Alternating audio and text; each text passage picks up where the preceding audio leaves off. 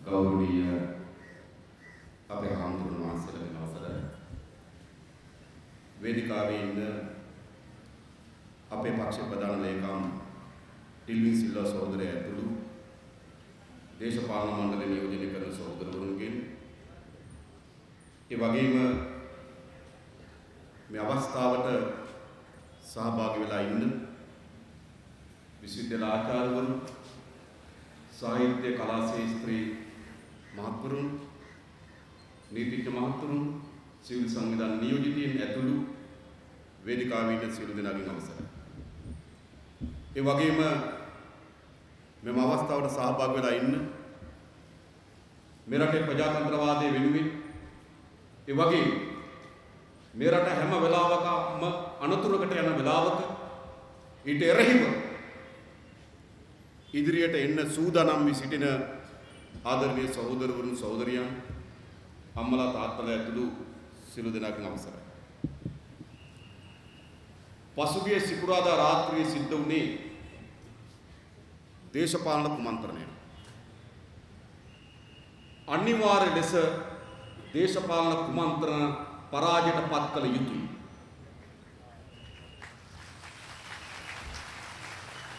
පසුගිය සිකුරාදාගේ සිට මේ දින කිහිපය තුල දිගහැරමින් තිබෙන නාටකයන් කුමක්ද? අපේ රටේ ජනවරම ප්‍රජාතන්ත්‍රවාදය විවස්ථාව මහජන නියෝජිතයින් පාර්ලිමේන්තුව ජනාධිපති ධූරය අග්‍රාමාත්‍ය ධූරය දේශපාලන සදාචාරය මේ සියල්ල මහා උත්තුංග වාක්‍ය වැකි ලෙස තියෙනවා. මේ සංකල්ප මේ ආයතන මේ වගකීම් නිසි බරකින් යුතුව සමාජයේ ඇගයීමකට ලක් වී තිබුණා. එහෙත් මේ දින කිහිපය තුළත හොඳින් හැම කෙනාටම පෙන්눔 කරමින් තිබෙනවා. මේ පාලකයන් හැමදාම මේ සංකල්ප මේ තනතුරු මේ ආයතන තමගේ කැත ශරීරය වසා ගැනීම සඳහා උපයෝග කරගත්තු කසීසලු බවට පත් වී තිබුණා. හැබැයි මේ දින කිහිපය ඇතුළත ජනතාවට ඉතා හොඳින් ඔප්පු කරමින් තිබෙනවා. මේ සංකල්ප මේ ආයතන මේ වගකීම් කසීසලු බවට අපට පෙන්වා තිබූ දේ ඉතා හොඳින් පෙන්නුම් කරමින් තිබෙනවා පාංකඩයක් තරම්වත් වටින්නේ නැති දේවල් බව මේ රටට ඔප්පු කරමින් තිබෙනවා. ප්‍රජාතන්ත්‍රවාදී ප්‍රජාතන්ත්‍රවාදයේ ප්‍රධාන ලක්ෂණයක් තමයි ජනතාව විසින් තමන්ගේ ආණ්ඩුවක් පත් කර ගැනීම. දැන් සිකුරාදා රාත්‍රියේ සිද්ධ වුණේ ජනතාව විසින් ආණ්ඩුවක් පත් කර ගැනීමක්.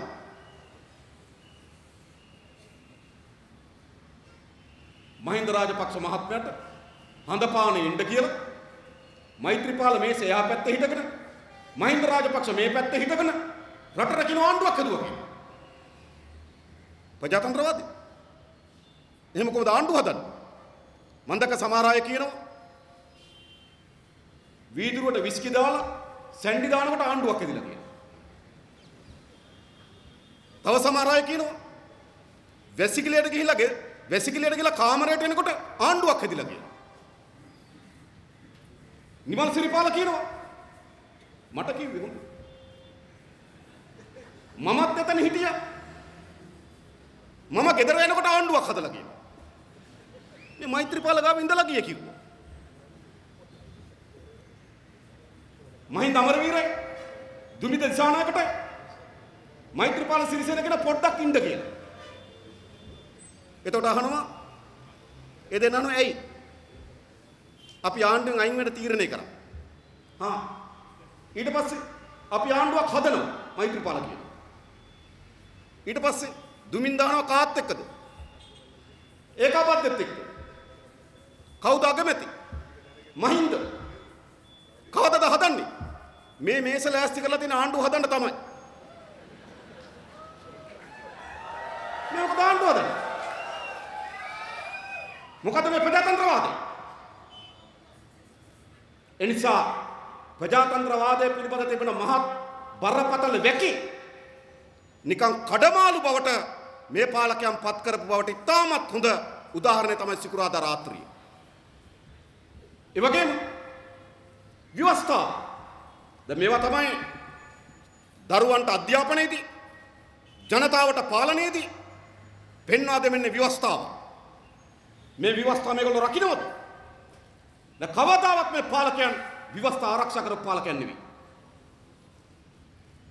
සිරානි බණ්ඩාරනායක නිරපාහරින්නේ ව්‍යවස්ථාවට අනුව නෙවෙයි. ව්‍යවස්ථාවට අනුව සිරානි බණ්ඩාරනායක නිරපහැරීම සඳහා පාර්ලිමේන්තුවේ යෝජනාවක් සම්මත විය යුතු තිබුණා. මේ චෝදනාවන් පාර්ලිමේන්තු තේරීම්කාරක සභාවෙන් ඔප්පු වී තිබෙනවා. ඒ අනුව සිරානි බණ්ඩාරනායක අග්‍රමනිසකාර ධූරයෙන් නිරපහැරීම සඳහා පාර්ලිමේන්තුවේ යෝජනාවක් සම්මත විය යුතුයි. එවැනි යෝජනාවක් මේ පාර්ලිමේන්තුව කවදාවත් සමත වුණේ නෑ. ද සිරානි බණ්ඩාරනායක නිරපහරින්නේ ව්‍යවස්ථාවට අනුව නෙවෙයි. ඒ නිසාම තමයි මේ මෛත්‍රීපාල ජනාධිපති වෙච්ච හැටියෙම මොහාන් පීරිස්ත ගෙදර යන්න කියලා සිරානි නා සිරානි බණ්ඩාරනායකට අගවිනිසුරු දුරුවේ දෙන්නේ. ඒක ව්‍යවස්ථාවට පටහැන් නිසා එදා. ඒ වගේම ජනවාරි මාසේ 8 වෙනිදා රනිල් වික්‍රමසිංහ අගමැති ධූරේ වාඩි කරවන්නේ මෛත්‍රීපාල විවස්ථාවට අනුව. විවස්ථාවේ තිබෙන්නේ ඒතොර 19 වෙනි සංශෝධනයේ තිබුණේ තිබුණු විවස්ථාවේ තිබෙන්නේ පාර්ලිමේන්තුවේ බහුතරය දිනාගත හැකියයි කියලා විශ්වාස කරන කෙනාට අග්‍රාමාත්‍ය ධූරය ලබා දීම සඳහා ජනාධිපතිවරයා කටයුතු කළ යුතුයි.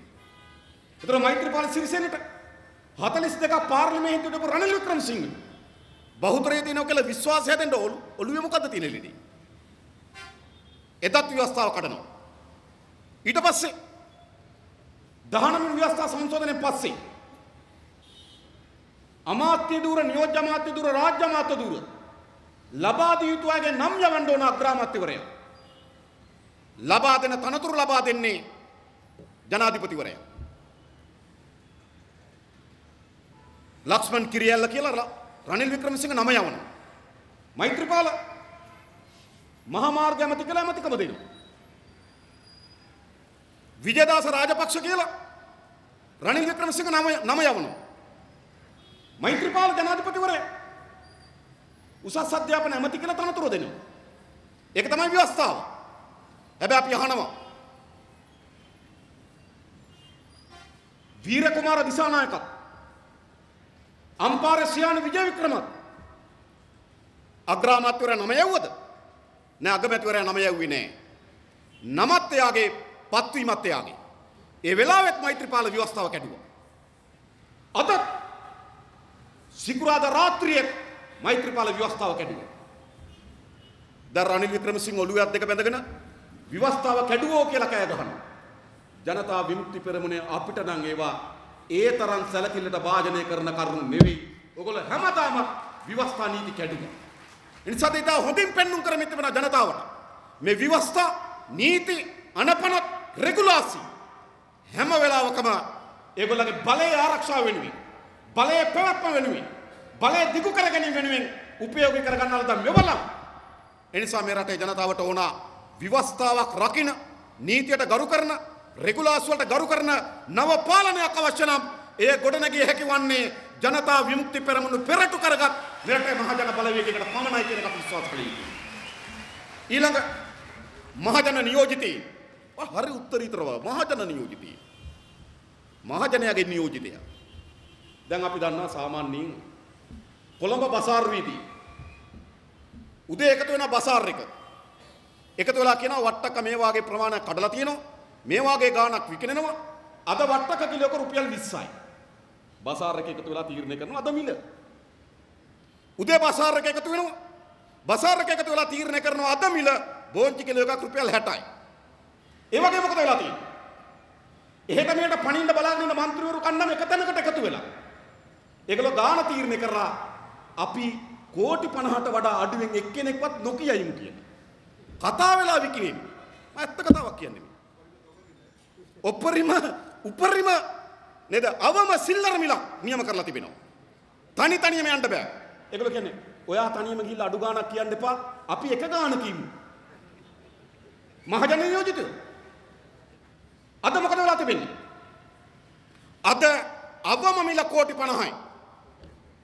අවම මිල කෝටි 50 බසාර් එක නේද? පාර්ලිමේන්තුව කියන දැන් බසාර් එක තමයි. කට්ටිය තීරණය කළා තියෙනවා අපි කෝටි 50ට වඩා අඩුවෙන් නොකියයි. දැන් කවුද කවුද මහජන නියෝජිතයා? මහජන නියෝජිතයා ඉන්නේ කොතනද කියලා තීරණය කරන්නේ කළු සල්ලි. දැන් ඉස්සර තිබුණා අපිට මතකයි ඉස්සර ගම්වල එනවා මේ අද දවසේ කෝටිපතිය කියලා. එනවනේ ඉතින් ලොතරයි විකුණන්න. අද දවසේ කෝටිපතිය කියලා ඔන්න එනවා ලොතරයි අරගෙන. දවසේ කෝටිපතිය. දැන් මොකද වෙලා තියෙන්නේ? උදේටත් කෝටිපතිය හැදෙනවා. දවල්ටත් කෝටිපතිය හැදෙනවා. රැයටත් කෝටිපතිය හැදෙනවා. මොන මහජන නියෝජිත මේගොල්ලෝ? මේ රටේ ඕනද මේ වර්ගයේ මහජන නියෝජිතයෝ? මම ඇහුවා එක්කෙනෙක්ගෙන් ඇයි මේ කොටස් වශයෙන් අමාත්‍ය දූර දෙන්නේ කියලා. ඇයි කොටස් වශයෙන් අමාත්‍ය දූර දෙන්නේ? ඉස්සරලම අමාත්‍ය දූර 12ක් දුන්නා. නියෝජ්‍ය අමාත්‍ය දූර 3ක් දුන්නා. දැන් තව එකක් පස්සේ දෙනවා. මේ මොකද්ද? සාමාන්‍යයෙන් අපි දන්නවා ඈත ඉන්න සුනකයා කැඳව ගන්න ළඟ ඉන්න බල්ලට කටුවක් දානවා. ඒ ඉවට ඈත ඉන්න එනවා. ළඟ ඉන්න බල්ලට කටුව දාපුවම ටිකක් ඈත ඉන්න බල්ල තව ටිකක් කිට්ටු වෙනවා. ඌට කටුවක් දාපුවම ඉංජු කියලා කියනවා. මේ මහජන නියෝජිතයද? ඔයගොල්ලෝ හිතන්නේ මේ මහජන නියෝජිතයද? අපි ඔයගලන්ට එක සහතිකයක් දෙනවා. තමුන්නාන්සලා ඡන්දෙ දීලා තියෙනවා නම් ජනතා විමුක්ති පෙරමුණට ඒ ඡන්දේ අයිතිය ඡන්දේ ගෞරවය ආරක්ෂා කරන එකම මහජන නියෝජිතයා ජනතා විමුක්ති පෙරමුණ විසින් ගොඩනගලා තිබෙනවා. ඒ තමයි මහජන නියෝජිතයා. එහෙම නැතුව කටුව විසි කරනකොට කටුව විසි කරනකොට ඒ ඉවට ළඟට එන සුන කරලක් අපේ රට පාලකයෝ බවට පත් වෙලා තිබෙනවා. වෙනස් කරන්න ඕනේ නැද්ද මේක? දැන් සොරමුල දෙක තැන් දෙක කඳවුරු බැඳගෙන. එක සොරමුලක් අරලිය ගහ මන්දිරය. අනිත් සොරමුල ජනාධිපති මන්දිරය. කට්ටියක් හබරන කැලේ අනිත් කට්ටිය බූන්දල බූන්දල කැලේ. දැන් සොරමුල දෙක කැලෑවල් දෙක කඳවුරු මැදගෙන. බැඳගෙන මොකද කරන්නේ? Taman එක්රස් කර ගන්නවලද කළු ධනය? මම අහනවා මේක ගනුදෙනුව සිද්ධ වෙන්නේ බැංකුව හරහා නෙවෙයි. ගන්න කෙනාට සල්ලි දෙන්නෙත් account එකට නෙවෙයි. කවුරු හරි ගන්නව නම් එයාගේ සල්ලි යන්නේ බැංකු ගිණුමට නෙවෙයි. එයාව ගන්නෙ බැංකු ගිණුමෙන් සල්ලි අරගෙනුත් නෙවෙයි. එහෙනම් කොහෙද මේ සල්ලි? කාගේද මේ සල්ලි? මේ සල්ලි තමයි අපේ රටේ ජාවාරම් කරුවන්ගේ කළු සල්ලි. එනිසා අදාර අපේ අපේ රටේ මහජන නියෝජිතය අපේ රටේ മന്ത്രിවරය නිර්මාණ කරන ජනතාව නෙවෙයි කළු සල්ලි. ද කළු සල්ලි වලින් පාලනය වෙන මහජන නියෝජිතයන් කණ්ඩායමක් අද අපේ රටේ ගොඩනැගිලා තිබෙනවා. ද මහජන නියෝජිතයා කියන තනතුරට යම් බලයක් තිබුණා නම් ඒ බලයත් අද අහුස් වෙලා තිබෙනවා. ඊළඟ පාර්ලිමේන්තුව. මේ පාර්ලිමේන්තුව මොකක්ද? අපිට කියන්නේ උත්තරීතර ආයතනය. තීන්දුව తీරන ගන්න බලවත් ආයතන බවට පාර්ලිමේන්තුව කියලා කියනවා. නැ මේ පාර්ලිමේන්තුව තවදුරටත් උත්තරීතර ආයතන නෙවෙයි. කොහොමද මේ වගේ තේ උත්තරීතර භාවය? මෛත්‍රීපාල සිරිසේන ජනාධිපතිවරයා පසුගිය සිකුරාදා මේ දේශපාලන කුමන්ත්‍රණය කරලා ඇයි පාර්ලිමේන්තුව කල් දාන්නේ? සාමාන්‍ය දිනේෂ් ගුණවර්ධන අපිට මතකයි. ගම් වතුරක් ආවත් පාර්ලිමේන්තුව කැඳවන්න කියලා කැමර දෙනවා. මතකද පහුගිය කාලේ? ගම් වතුරක් ආවත් පාර්ලිමේන්තුව කැඳවන්න කියලා කැමර දෙනවා. මොකද සිද්ධ වෙලා තිබෙන්නේ? රටේ දේශපාලන ව්‍යාකූලත්වයක් හැදිලා තිබෙනවා. මෛත්‍රීපාල සිරිසේන මහත්තයා පාර්ලිමේන්තුව කල් දානවා. හරියට තමන් වැසිකිළියට ගිහිල්ලා වීදුරු දොරකින් දොර වහගෙන වගේ. ඔක්කොම පේනවා මෛත්‍රීපාල මහත්තයෝ. පේන්නේ නැද්ද? ඔක්කොම පේනවා. දිනේෂ් ගුණවර්ධන එතන නහය අල්ලගෙන දොර මුර කරනවා. ප්‍රජාතන්ත්‍රවාදී මුර දේවතාව. මේගොල්ලෝ ප්‍රජාතන්ත්‍රවාදී. මේගොල්ලෝ පාර්ලිමේන්තුව. මේගොල්ලෝ නියෝජනය කරන තැන් පාර්ලිමේන්තුව. මේ තවදුරටත් ජනතාවගේ නියෝජිත ආයතන නෙවෙයි. එනිසා කවුරු හරි කියනවා නම් ඊළඟ දවසේ 113 හදාගන්න කෙනා ජනාධිපති කියලා අපි පිළිගන්න ඕනද? අපි පිළිගන්න ඕනද? මේ රටේ කිසි කෙනෙක් මේ පාර්ලිමේන්තුව 113 පෙන්නන කෙනා ජන අගමැතිවරයා ලෙස පිළිගන්න සූදානම් නම් ඒකෙන් කියන්නේ මොකද්ද? කළු සල්ලි පිළිගන්න සූදානම් බව. අපි කිසිවෙක් කළු සල්ලි උවමාරු වෙලා මහජනක හොරකම් කරන කෝටි ප්‍රකෝටි ධනය එහෙට මෙහෙට විසිකලා මං අහගෙන එක්සත් ජාතික පක්ෂ කට්ටිය රනිල් වික්‍රමසිංහ මහත්තයා ගාවට ගිහිල්ලා කියනවලු බැඳුම් කරේ හොරකම් කරපුවා කීයක් හරි නිදහස් කරමු නේද මේ වැඩේටවත් කියලා. ඔකයි කියන්නේ. ඉතින් මේකටවත් දැන් වැලියට ගන්න. ඉතින් එහෙම හදන පාර්ලිමේන්තු. එහෙම හදන 113. එහෙම හදන අග්‍රාමාත්‍ය ධූර මේ රටේ ජනතාව පිළිගත යුතුද? එළඹෙන පාර්ලිමේන්තු දවසේ ඔය පුටුවේ වාඩි වෙන රනිල් වික්‍රමසිංහද ඔය පුටුවේ වාඩි වෙන මහින්ද රාජපක්ෂද එක්කීසිවෙක් පිළිගැනීමට මේ රටේ ජනතාව සූදානම් නොවිය යුතු ප්‍රතික්ෂේප කළ යුතුයි. කළු සල්ලි වියදම් කරලා එහෙට මෙහෙට පණින മന്ത്രിවරු වරගෙන පාර්ලිමේන්තුවේ 113ක් අටවලා අග්‍රාමාත්‍ය දුර ගන්න පුළුවන් නම් මේ රටේ ජනතාවට අපේ රටේ දේශපාලන පිළිබඳ තියෙන වගකීම මොකද්ද? මැදිහත්වීම මොකද්ද? මේ කිසිවක් අපි පිළිග පිළිනගත යුතුයි ඊළඟ ඊළඟ බලගත් තනතුරු ජනාධිපතිවරයා. ජනාධිපතිවරයා කිව්වහම විධායකයේ ප්‍රධානිය සේනාධි නායකයා රාජ්‍ය නායකයා මා දැවන්ත වගකීමක් ජනාධිපතිවරයාට. දැවන්ත වගකීම සහ බලය සහ වටිනාකමක් ජනාධිපති කෙන ධූරයට තිබෙනවා. දැන් මේ ජනාධිපති ධූරයේ වාඩි වෙලා තියෙන මෛත්‍රීපාල සිරිසේන මහත්මයා ජනාධිපති ධූරයට තියෙන වගකීම සහ වටිනාකම ආරක්ෂා කරලා තියෙනවද? ආරක්ෂා කරලා තියෙනවා. පෞගේදා මම බලාගෙන රූපවාහිනිය පාපොච්චාරණය කරනවා. ඔක අපිට අලුත් දෙයක් නෙමෙයි. 2015 අවුරුද්දෙත් ජනාධිපති වේදිකාවේ ඇති තරමට කරේ පාපොච්චාරණය. මම මොරගහ කන්දට මුල් ගල තියලා එනකොට වාරි මාර්ග ඇමතකම මයෙන් අයින් කළා නිමල් සිරිපාලට දීලා. ඕක කිව්වනේ.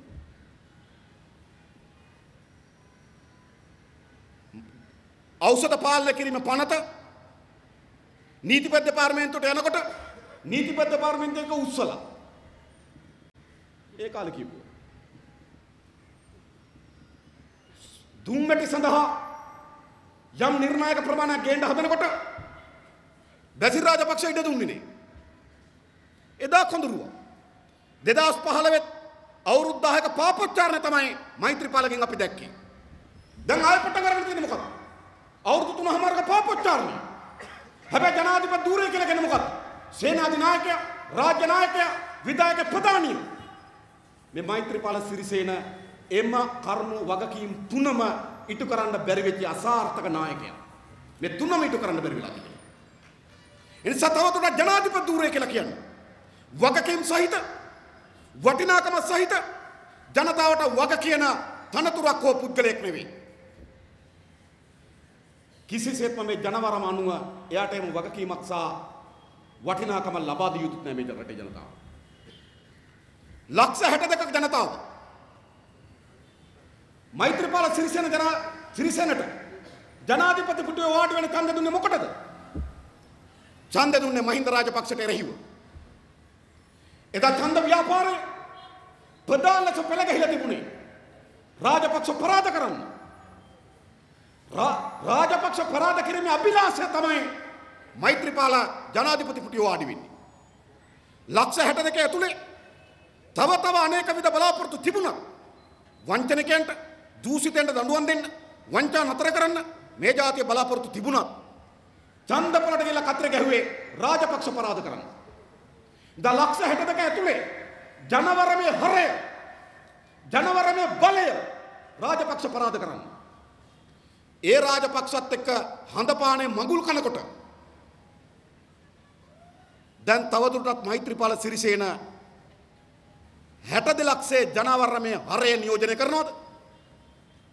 මෛත්‍රීපාල සිරිසේන තවදුරට ලක්ෂ 62ක ජනතාවගේ ජනවරමේ හරය නියෝජනය කරන්නේ නේ. ඔහුට ඔහුගේ ඡන්ද ඔහුට අද ඔහු නියෝජනය කර කැබිනට් මණ්ඩලයත් ඔහු නියෝජනය කර ආණ්ඩුවෙත් වැඩිම වුණොත් ඔහුට ඡන්ද දීලා තියෙන්නේ පැනපු හතර දෙනා. ඒත් දන්නේ නැහැ හොඳින්. අර වැඩිම වුණොත් පැනපු හතර දෙනා. තමන්ගේ අගම අගමැති අගමැති මහින්ද රාජපක්ෂ තමන්ගේ තමන් පත් කරගන්න ලද සෙල්ලම් ආණ්ඩුවේ මේක සෙල්ලම් ආණ්ඩුව. අර හිටපු ගමන් අපිත් කට්ටිය නේද? ගම්මුල ළමයි ටික එකතු වෙනවා. උඹ අගමැති මම විපක්ෂ නායක නේද? අපි සෙල්ලම් කරමු කියන. මේ වගේ සෙල්ලම් ආණ්ඩුව. මේ සෙල්ලම් ආණ්ඩුවේ නියෝජනය කරන කවුද? මෛත්‍රීපාල සිරිසෙන්ට ඡන්ද දීලා තියෙන්නේ. ඕනනම් මේ ඊයේ පෙරේදා පැනපු වසන්ත සේනනායක අලුත්ගමගේ අර දුෂ්‍යන්ත වාගේ ගංකන්ද වගේ කීප දෙනෙක් වෙන්න පුළුවන්. අනිත් සියලු දෙනා මෛත්‍රීපාල සිරිසේන පරාජයටපත් කරන්න ඡන්ද දීපු අය. නිසාද මෛත්‍රීපාල සිරිසේන ජනාධිපතිවරු හුබවන්නේ ආණ්ඩු පාලනය කරන්න ලෑස්ති වෙන්නේ තමන්ට දීපු ජනවරමට ප්‍රතිපක්ෂ ලෙස හිටගෙන. ඒ නිසා මේ රටේ ජනතාව යලි මෛත්‍රීපාල සිරිසේන රටේ ජනාධිපතිවරයා ලෙස පිළි නොගත යුතුයි. ඇයි අපි පිළිගන්නේ? ලක්ෂ 62 ජනවරමට පිටුපාපු කෙනා ලක්ෂ 62 ජනවරමට මුළුමනින්ම ප්‍රතිපක්ෂව හිටගත්තු කෙනා මේ රටේ යලි ජනාධිපති විය යුතුද? එන්දා මෛත්‍රීපාල සිරිසේන තව දුරටත් තමන්ට ඡන්ද දීපු 62ක් නැහැ. තමන්ට එරෙහිව ඡන්ද දීපු 58ක් නැහැ. ඒ නිසා ඔහු සහ ඔහුගේ පවුලයාගේ පමණක් ඡන්දෙන් ජනාධිපති. ඔච්චරයි. ඔහු සහ ඔහුගේ පවුලයාගේ ඡන්දෙන් ජනාධිපති. සෙවන ජනාධිපතිවරේ තව දුරට මේ රටේ ජනතාව පිළිගත යුතුද අපි ආරාධනා කරන්නේ තව දුරටත් ඔහු අපේ රටේ ජනාධිපතිවරයා ලෙස පිළි නොගත යුතුයි. ඒ විතරක් එනිසා ජනාධිපති දූර ජනාධිපති කම්මල තිබෙන වටිනාකම් මුළුමනින්ම හැල්ලු වෙලා විනාශ වෙලා ඉවරයි. ඊළඟ අග්‍රාමාත්‍ය ධූරය. අග්‍රාමාත්‍ය ධූරය. අර්ලියගහ මන්දිරේ සුරමුලට නායකත්ව දෙන රනිල් වික්‍රමසිංහ මහත්තයට තව දුරටත් මේ අග්‍රාමාත්‍ය ධූරය වළංගුද? ඔහුටත් මේ අග්‍රාමාත්‍ය ධූරය වළංගුනේ. 2015 නැතිවරණ වලදී ලබා දෙන ලද ජනමත ජනමතේ ජනවරම මුළු අවුරුදු තුනමාර පුරාවටම රනිල් වික්‍රමසිංහ උල්ලංඝනය කරා.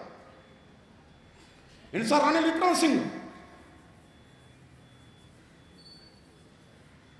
අපේ රටේ ආණ්ඩුකරණයේදී රටේ ජනතාවගේ අපේක්ෂාවන් වංචා වංචනිකයට දඬුවම් දීම වංචා නොකර සිටීම ආර්ථිකය ගොඩනැංවීම ජාතික සම්පත් ආරක්ෂා කිරීම ජනතාවට වගවීම මේ කියන මූලධර්ම එකවක් ආරක්ෂා කරගන්න බැරි විදිහට රනිල් වික්‍රමසිංහ.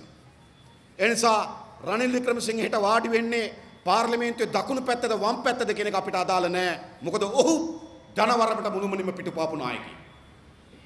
මහින්ද රාජපක්ෂ මහින්ද රාජපක්ෂට මොකද තියෙන ජනවරම රනිල් මෛත්‍රීපාල සිරිසේනත් එක්ක ආණ්ඩු කරන්න. මොකද්ද දුන්නේ? කවුද දුන්නේ? අඩුම තරමේ මහින්ද රාජපක්ෂට ඡන්ද දීපු ඡන්ද දීපු අපේක්ෂකයවත් අපේක්ෂා කරන්නේ ඡන්ද දීපු ඡන්දදායකයවත් අපේක්ෂා කරන්නේ නැහැ. මෛත්‍රීපාලත් එක්ක හවුල්ලාම්. එනිසා අද මෛත්‍රීක ජනාධිපතිකමත් අටවකට තියෙන මහින්ද රාජපක්ෂගේ අගමැති ධූරය කිසිසේත්ම මේ රටේ ජනතාව පිළි නොගත යුතු දූර බවට පත්වලා අවසන් කිසිදු ජනවරමක් ජනතා කැමැත්තක් නැති දූර. එනිසා අග්‍රාමාත්‍ය ධූරය ජනාධිපති ධූර කියන වද හැල්ලුවට ලක් වෙලා ඉවරයි ඒව අවසන්. ඊළඟ දේශපාලන සදාචාරය අපේ හර්ෂන් නානක්කාර නීතිඥතුමා කිව්වා විවස්ථා නීති වලට වඩා උඩින් හැමදාමත් තිබෙන්නේ සදාචාරය. රනිල් මයිත් මයිත් රනිල් මෛත්‍රී හවුල් ආණ්ඩුවක් හදන්න. විශේෂම ජාතික ආණ්ඩුවක් හදනවා ජාතික ආණ්ඩුව කියලා ලේබලේ එදා ආණ්ඩුවක් හදාගන්න. ජනතාවගේ ජනවරමක් දුන්නේ නේ. සැප්තැම්බර් මාස දෙවනිදා ශ්‍රී ලංකා නිදහස් පක්ෂයත් එක්සත් ජාතික පක්ෂයත් එකතු වෙලා ජාතික ආණ්ඩුවක් හැදුවා. ඒ ජාතික ආණ්ඩුවක් හදන්න දෙය ජනවරමක් තිබුණේ. එදා ජාතික ආණ්ඩුවේ පළවෙනි පාර්ලිමේන්තු යෝජනාව තමයි 19 වෙනි ව්‍යවස්ථා සංශෝධනය අනුව අමාත්‍ය දුර 30යි. අමාත්‍ය දුර 30 අමාත්‍ය දුර 45 දක්වා වැඩි කර ගැනීම තමයි එදා සිද්ධ කරේ. ඒක තමයි පළමු යෝජනාව. ඒ නිසා එදාම ජනතාවගේ ජනවරමේ තිබෙන සදාචාරාත්මක බලයට මෛත්‍රීපාලත් රනිල් වික්‍රමසිංහත් පහ පාරක් එල්ල කරේ. දැන් අද මොකද සිද්ධ වුනේ? පසුගිය සිකුරාදා සිදුවෙච්ච සිදුවීම දේශපාලන කවර නිර්ණායකටද යටත් වෙන්නේ? ඒක විවස්ථාවට යටත්ද? ඒක නීතියට යටත්ද? ඒක දේශපාලනික මූලධර්ම වලට යටත්ද?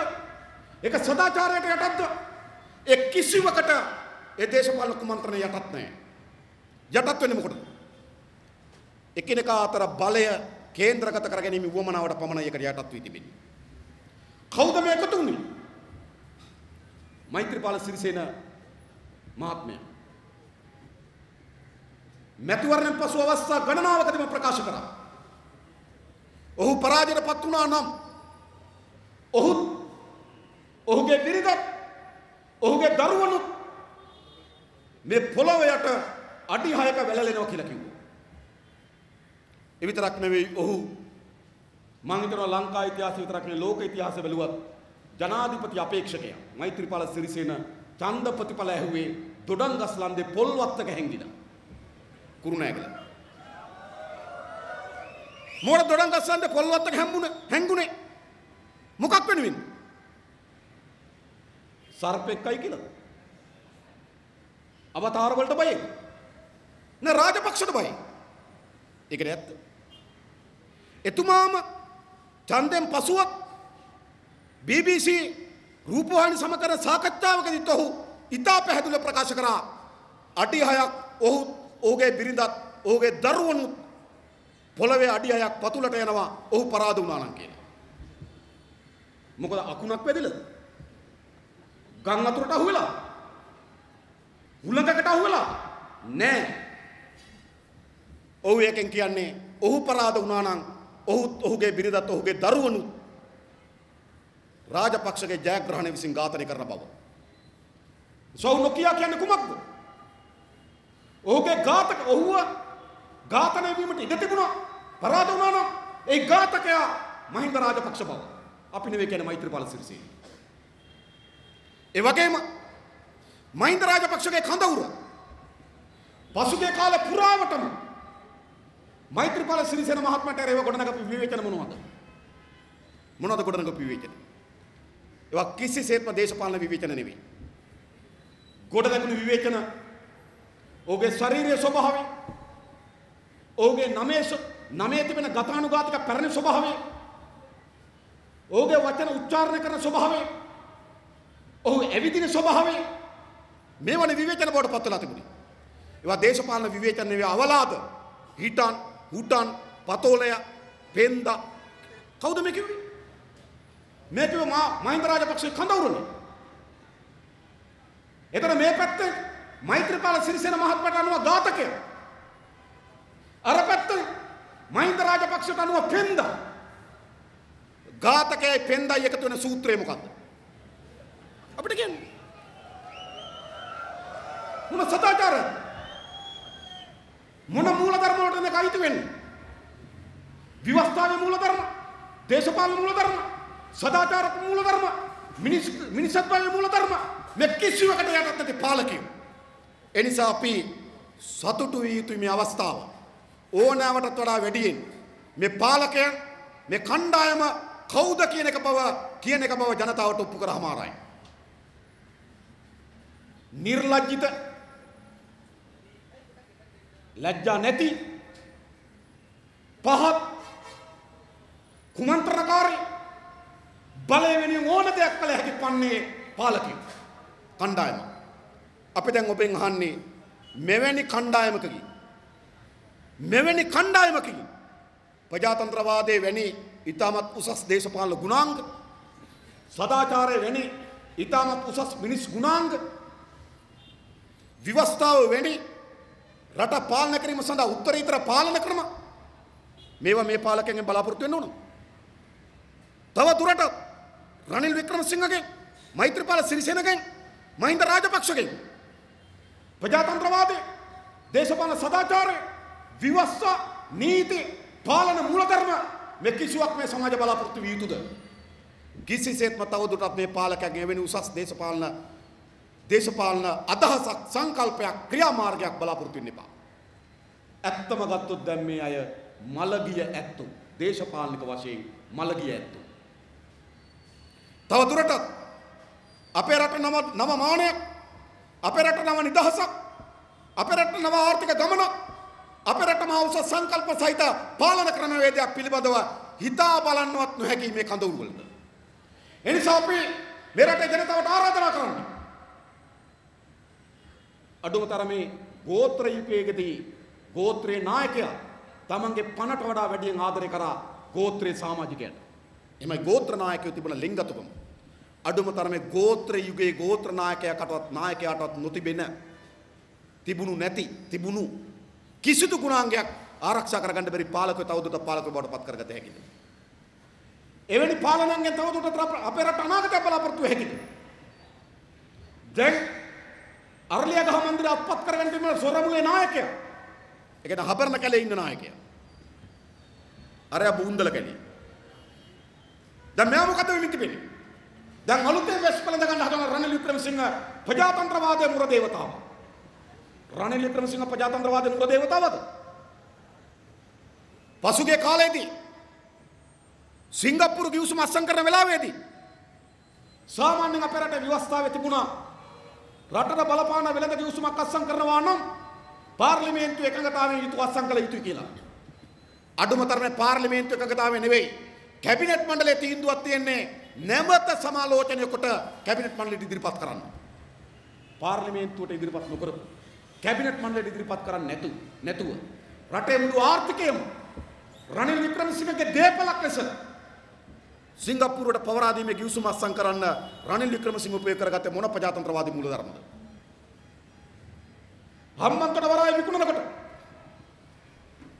කැබිනට් මණ්ඩලයේ සම්මත වූ යෝජනාව හම්බන්තොට වරාය ගිවිසුම් පාර්ලිමේන්තුවට ඉදිරිපත් කොට පාර්ලිමේන්තුවේ ඉදිරිපත් වන යෝජනාද සැලකිල්ලට භාජනය කොට ඒ යෝජනාව මත නැවත ගිවිසුම සකස් කොට අත්සන් කරන්න.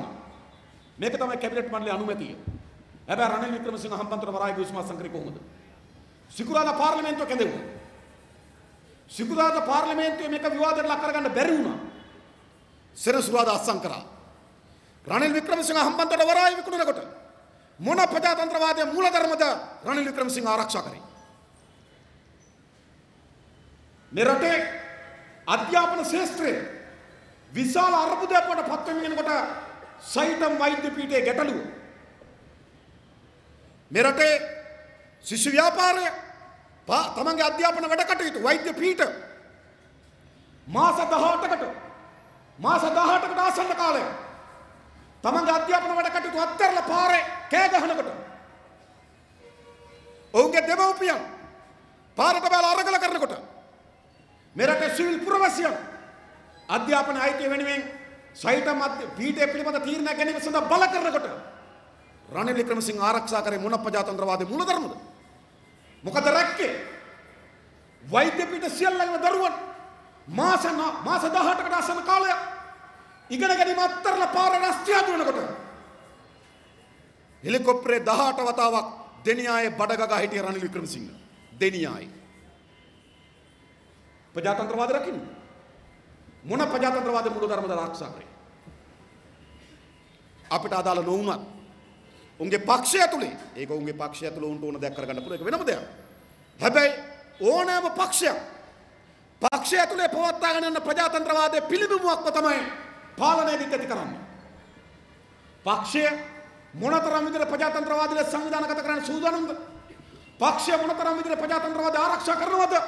එහිම එහිම පැතිකඩක් තමයි ඒ පක්ෂ බලයට ගත්තට පස්සේ ප්‍රජාතන්ත්‍රවාද පිළිබඳව ගති ලක්ෂණ රඳා පවතින්නේ. පක්ෂක ප්‍රජාතන්ත්‍රවාදය නැතුව පක්ෂක ඒකාධිපතිත්වයක් ගොඩනගාගෙන ඒ ඒකාධිපතිත්වයෙන් රටට ප්‍රජාතන්ත්‍රවාද බලාපොරොත්තු වෙන්න බෑ.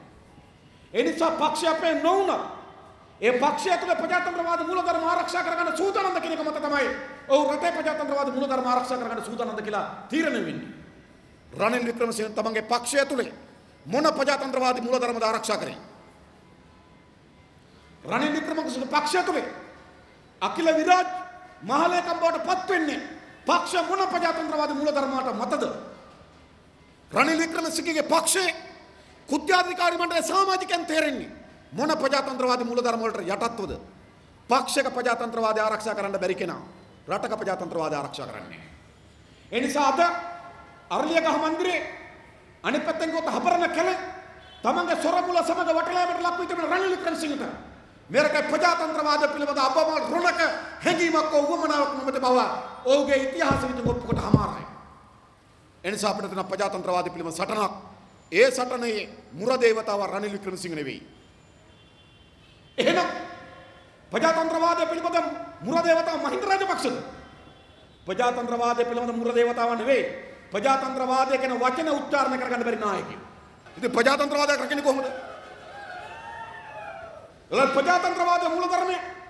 දැන් සමහර අය අපෙන් අහනවා මේ සහෝදර කොහොමත් මේ අවුරුදු 10ක අත්දැකීම් විඳලා දැන් අලුත් වෙලා ඇති නේද කියලා.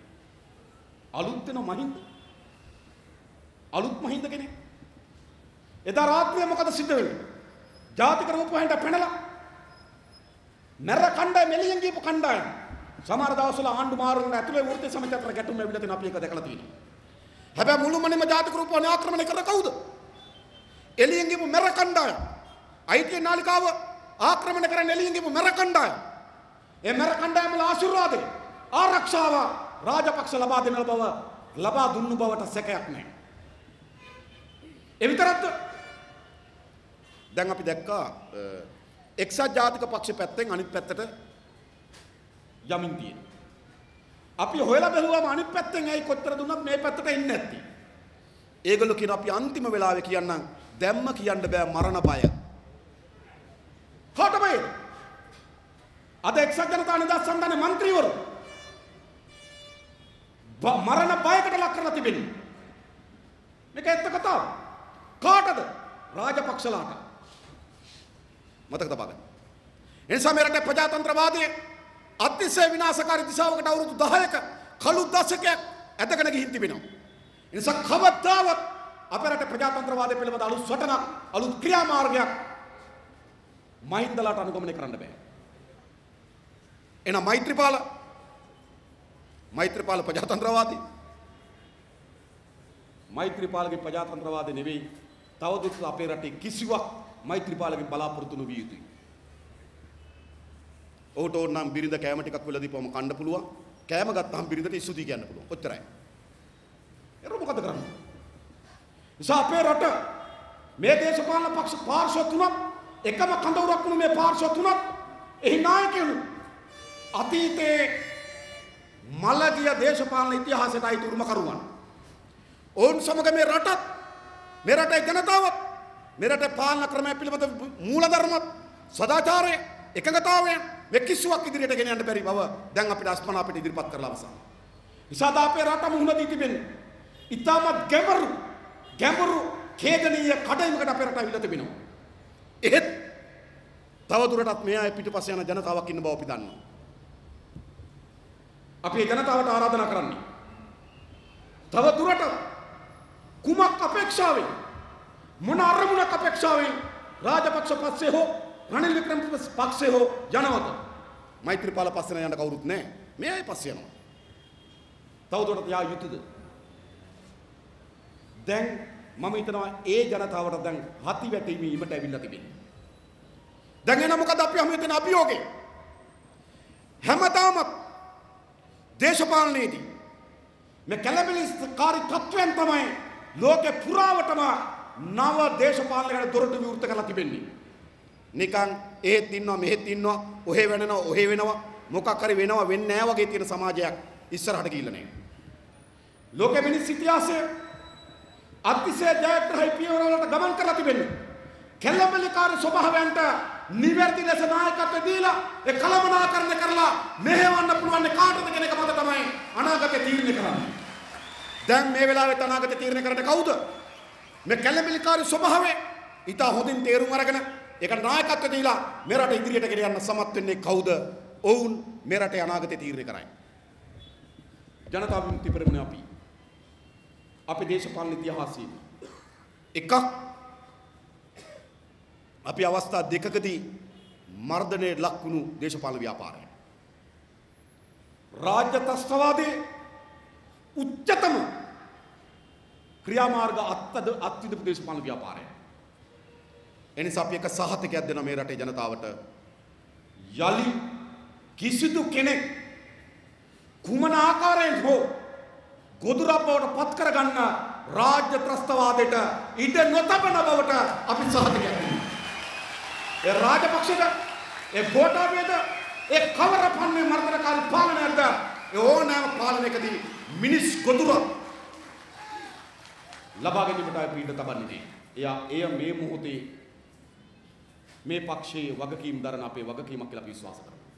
ඒක එක. පළමු. ඊළඟ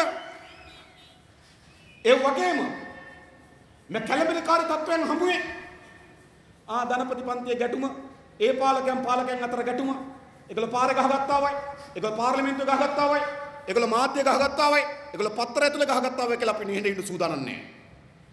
ජනතා විමුක්ති පෙරමුණ කිසිසේත්ම නරබන්නන් බවට පත් වෙන්න සූදානම් නැති දේශපාලන ව්‍යාපාරය මේ නාටකේ නරබන්නන් මේ නාටකය ඔහේ සිදු වුණාමයි කියලා පස්සකට වී බලා සිටිනම් බවට පත් වෙන සූදානම් නැහැ අපි ලෑස්ති මේකට මැදිහත් වෙන්න. ජනතා විමුක්ති පෙරමුණේ නුගේ ගොඩින්කද ආරම්භ කරන්න. මේ කලබලකාරී දේශපාලනේ නවම දේශපාලන දිශාවට ගමන් කිරීම සඳහා අවශ්‍ය වන මඟ පෙන්වීම දේශපාලන ව්‍යාපාරයේ ගොඩනගන්න. ඒ සඳහා තමයි අපේ මේ අපේ මේ මැදිහත් වීම සහ අපේ ක්‍රියාමාර්ග සකස් කරලා තිබෙනේ වෙනුවෙන්. මේ අපි අතට ගත යුතුයි. අප අතට ගන්නේ නැත්තම් කවුද අතට ගන්නේ? කියන්නේ. කවුද අතට ගන්නේ? මෙය ඉතිහාසයේ අප වෙත පවරා තිබෙන අත් නොහලෑකි වගකීමක්. අපි කිසි කෙනෙකුට මේක අත්තරින්න බෑ. මේකෙන් පලා යන්න බෑ. මේක නරඹන්න බවට පත් වෙන්න බෑ. අපි හැමදෙනාගේම වගකීම තමයි. අපි මේ අතට ගන්නේ නැත්නම් කවුද මේ අතට ගන්නේ? එනිසා අපි හැමදෙනාගේම වගකීම ඊටම දුෂ්කර කොන්දේසි යටතේ වුවත් මෙම සටන අතට ගැනීමට ජනතා විමුක්ති පෙරමුණ සූදානම්. අපි හදලා තියෙන අය වෙනුවෙන් ඉතාම සංවිධානාත්මක විනයසහිත දේශපාලන ව්‍යාපාරයක් ගොඩනගලා තිබෙනවා. අපේ සමාජිකයන් දසදහස් ගණන් ඉන්නවා.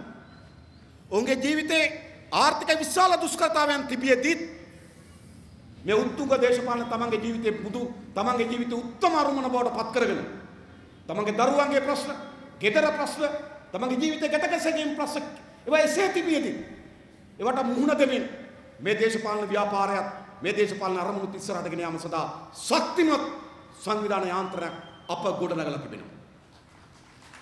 ඒ වගේම ඊටමත් විනයක් සහිත අධ්‍යාපනයක් සහිත දැක්මක් සහිත මේ රටේ ජනතාවට මේ රට මේ මාතෘ භූමියට අසීමිත අසීමිත ලෙස ප්‍රේම කරන සමාජිකයන් සමූහයක් ජනතා විමුක්ති පෙරමුණ විසින් ගොඩනගා තිබෙනවා.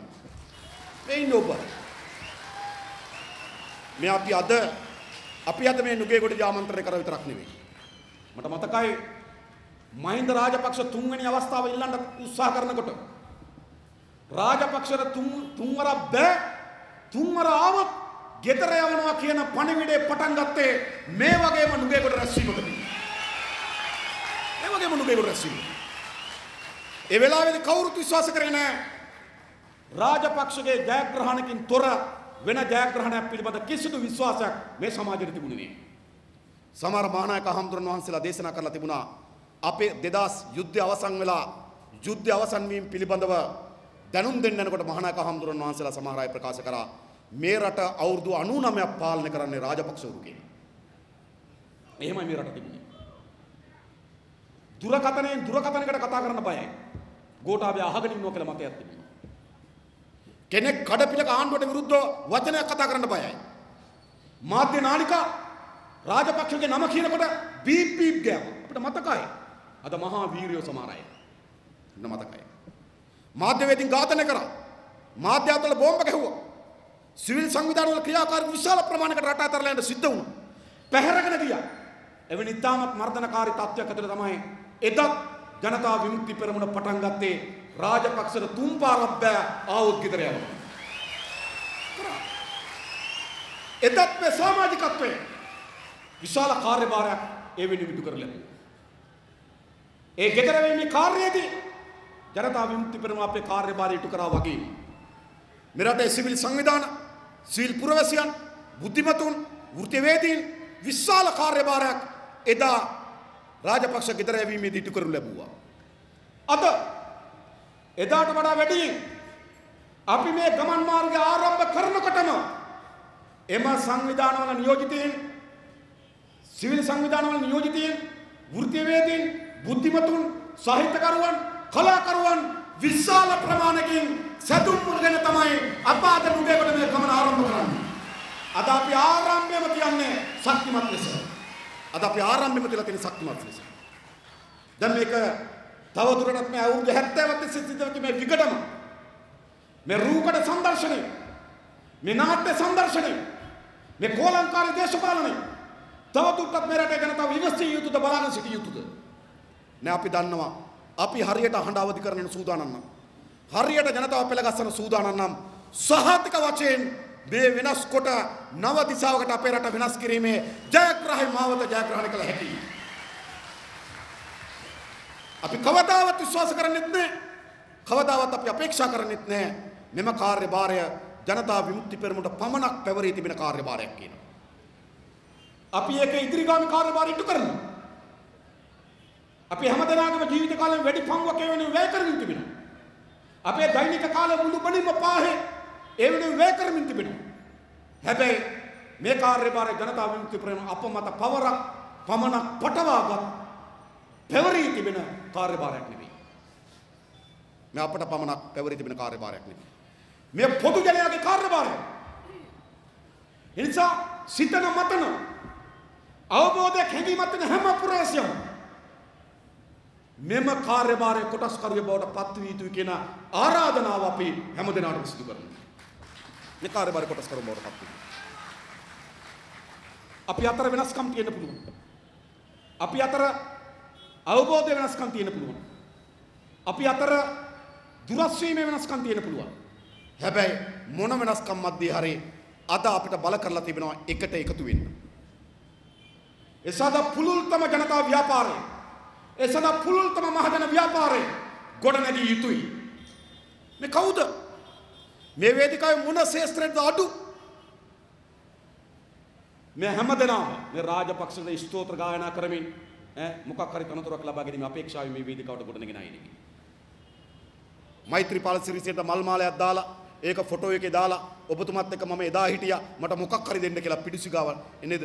එහෙම ඉල්ලගෙන යන්න සූදානම් අය නෙමෙයි.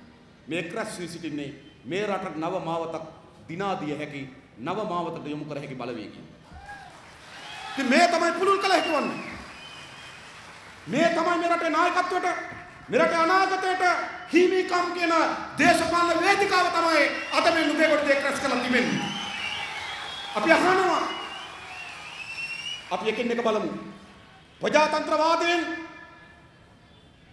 ඔවුන්ට වඩා අපි යටින්ද ඔවුන්ට වඩා අපි උඩින්ද. ප්‍රජාතන්ත්‍රවාදයෙන් අපි ඔවුන්ට වඩා උඩින්.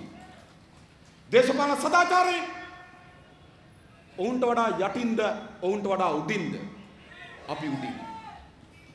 මේ රට ගොඩනැගීම් පිළිබඳ තිබෙන අවංක කැපකිරීමෙන් ඒක මනින්දවත් දෙයක් නෑ ඒක ශූන්‍යයි ඒක බිඳුවයි නේද ඒක ඒක නිකන් උඩද යටද කියලා බලනකොට දෙයක් නෑ බිඳුවයි ඒ පැත්ත නිසා සෑම දේශපාලන සාධකයකදී මේ රට ගොඩනැගීම සඳහා තිබෙන උවමනාව ප්‍රජාතන්ත්‍රවාදය පිළිබඳ අකාලංක විශ්වාසය අනේකාගේ අදහස් වලට අහුම්කම් දෙන්න තිබෙන ප්‍රවණතාවය ස්වාමික උවමනාවක් කියන පුරබැදීම මේ සියලු නිර්ණායකයන් ගත්තාම ඒ කඳවුරු දෙකට වඩා දහස් ගණන් ගව් ගණන් උඩින් තිබෙන දේශපාලන කඳවුර මේක. නිසා මේ කඳවුර තමයි මෙරට අනාගත නිර්මාණය කරන කඳවුර. මේ කඳවුරට තමයි මෙරට අනාගතේ බාර දිය යුතු කඳවුර. නිසා කඳවුර අපි ශක්තිමත් කළ යුතුයි. අපි ආරාධනා කරනවා. එක්සත් ජාතික පක්ෂයේ ශ්‍රී ලංකා නිදහස් පක්ෂී අපිත් එක්ක ඉන්න කතා බහ කරන අය. මේ සිද්ධ වෙන විගඩම ගැන ඉතාමත් ලැජ්ජා සහගතව නුරුස්නා ස්වභාවයෙන් හැසිරලා ඉන්නවා. අපි ආරාධනා කරනවා උන්ට ගොඩනැගී තිබෙන වේ- දේශපාලන වේදිකාව ඔබගේ හෘද සාක්ෂිය වේදිකාව ජනතා විමුක්ති පෙරමුණ විසින් ගොඩනගනවා ඇත අපි ආරාධනා කරනවා. ඒ වගේම අපේ රට කරන වමේ ව්‍යාපාරය.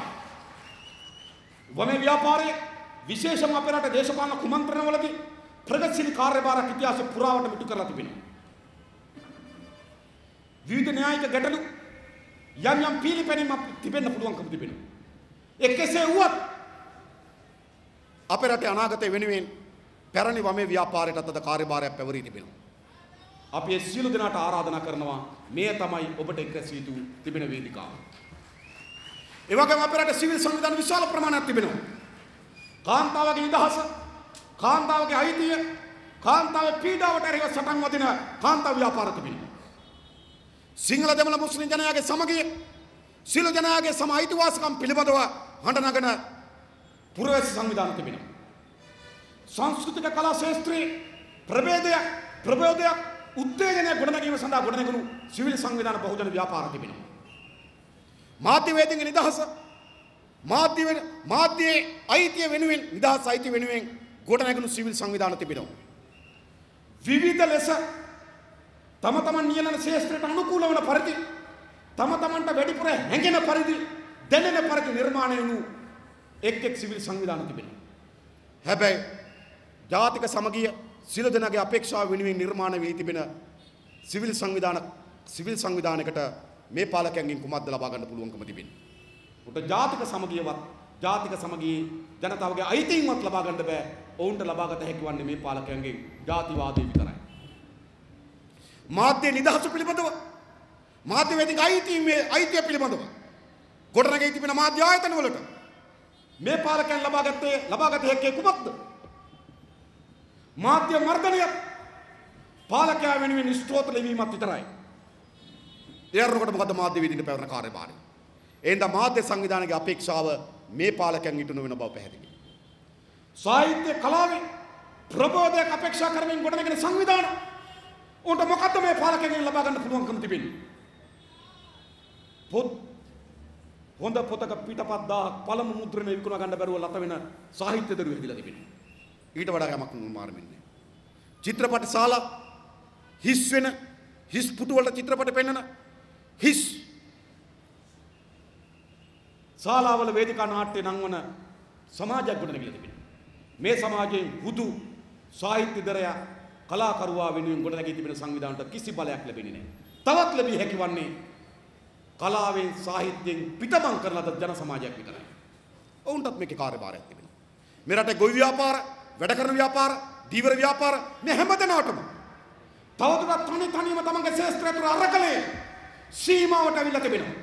ශිෂ්‍ය ව්‍යාපාරයට තව තවත් තමන්ගේ ශේෂ්ත්‍රය තුළ තනි තනි අරගලවල සීමාවට අවිල් අවසින් ඇවිත් අවසානයි. එක යුගයක තිබුණා තමන්ගේ ශේෂ්ත්‍රය පිළිබඳ අරගලයක් කළා තමන්ට යමක් දිනා ගන්න පුළුවන්. දැන් ඒ සියල්ල අවසානයි. දැන් මේ සියල්ල එක්ක සිද්ධ වෙන්නේ එක ගොඩනගෙන මහජන පොදු ව්‍යාපාරයක පමණයි මේ සියල්ල එක්ක සිද්ධ වෙන්නේ. මේ සියල්ලට පණපොවි හැකි මේ සියල්ලටම කාර්යභාරයක් තිබෙනවා. මේ සියල්ලගේම අරමුණු සාක්ෂාත් කරගත හැකි මධ්‍යස්ථානක අපි ගොඩනගී යුතු තිබෙනවා. අන්න ඒ වෙනුවෙන් අපි සිවිල් සංවිධානවල සියලන සියලු දෙනාට අපි ආරාධනා කරනවා තව දුරටත් මේ පිටිපස යාමෙන් කිසිවක් ඔබට නොලබෙන නොලබෙන බව ඕනෑවටත් වඩා ඔබ ඉදිරියේ සක්සුදස්සේ ඔප්පු කොට අවසන්. ඔවුන්ට ආරාධනා කරනවා. මෙරට සිවිල් බුද්ධමතුන් වෘත්තිවේදීන් ඔවුන්ට තිබෙන කාර්යභාරය මේ හැම දෙනාම එකතු කරගත යුතු නැද්ද? අන්න ඒ සඳහා ප්‍රබලතම මහජන ව්‍යාපාරය ගොඩනැගිය යුතුයි. මේ මහින්ද රනිල් මෛත්‍රී අසාර්ථක පාලකී නිර්ලජ්ජිත පාලකී කුමන්ත්‍රණකාරී පාලකී ප්‍රජාතන්ත්‍රවාදය පස්සේ කලන පාලකී රටක් ජනතාව පිළිබඳ හැඟීමක් නැති පාලකී තමන්ගේ බලය වෙනුවෙන් ඕනෑම නිර්ලජ්ජිත කැත්ත ඕනෑම කුමන්ත්‍රණයකට අවතීර්ණ වෙන්න. නිර්ලෝභී නායකයෝ. මේ නායකයන්ගේ මේ රට මුදවා ගත යුතුයි. මේ කඳවුරෙන් මේ රට මුදවා ගත යුතුයි. ඒ සඳහා අවශ්‍ය වන නායකත්වයේ ඒ සඳහා අවශ්‍ය වන මඟ පෙන්වීම ලබා දීම සමත් වෙන මහජන ව්‍යාපාරයක් අපි ගොඩනගමු. මෙතෙන් ඩෙක්රස් වී තිබෙන ඔබට අන් කවරදාටත් වඩා වැඩියෙන් ගමට යන්න පුළුවන් පව් කොන්ද කෙලින් තියාගෙන. ඔබ නියෝජනය කර ජනතා විමුක්ති පෙරමුණ. ඔබ හඬ නැතුව ජනතා විමුක්ති පෙරමුණ වෙනුවෙන් ගමේ හැම වෙලාවම ඔබගේ හෘද සාක්ෂිය නිවැරදි බව හැම කෙනෙක් ඉස්සරහම ඔප්පු කරන්න පුළුවන්, තාවුරු කරන්න පුළුවන්. ඒ ආරක්ෂා කරලා තිබෙනවා. එනිසා අපි ඔක්කොම එකතු වෙමු. උඩමහා උඩමහා ජන ව්‍යාපාරයක් ගොඩනගමු. ගම ඇතුලේ මහා ජන බලයක් ගොඩනගමු. මේ ඇර අපිට තිබෙන මාවත කුමක්ද? කුඩා කුඩා ප්‍රතිසංස්කරණ, කුඩා කුඩා බලාපොරොත්තු අවසන් වී තිබෙනවා. තව තව කුඩා කුඩා ප්‍රතිසංස්කරණ සඳහා තව තව නායකයෝ අවසන් වී තිබෙනවා. ද අවසන්ම ජයග්‍රහයි මාවතට මේ රටේ ජනතාව අවතීර්ණ කළ යුතුයි. එවෙනුවෙන් අපි සියලු දෙනා එකතු වෙමු. එවෙනුවෙන් අපි සියලු දෙනා සංවිධානය වෙමු. එවෙනුවෙන් අපි පුළුල්තම වාදන ව්‍යාපාරයක් ගොඩනගමු. එවෙනුවෙන් හැමදෙනාම ජයග්‍රහයි ලෙස ඉදිරියට ගෙන යාමට ශක්තිමත් ව්‍යාපාරයක් ගොඩනගමු.